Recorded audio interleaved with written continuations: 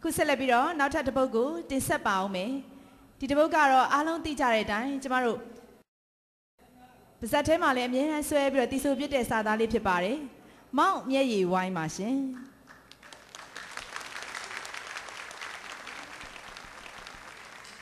အပေးကြတာကျေးဇူးတင်ပါတယ်တီဆိုမဲ့သူကတော့စမင်းတိုက်ဖြစ်ပါတယ်